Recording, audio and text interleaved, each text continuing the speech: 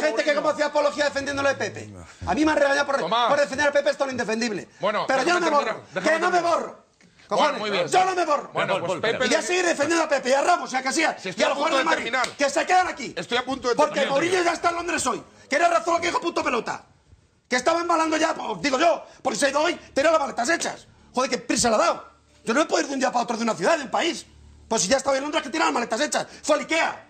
Joder. Le pillaron aquí. Y en febrero ya estaba negociando.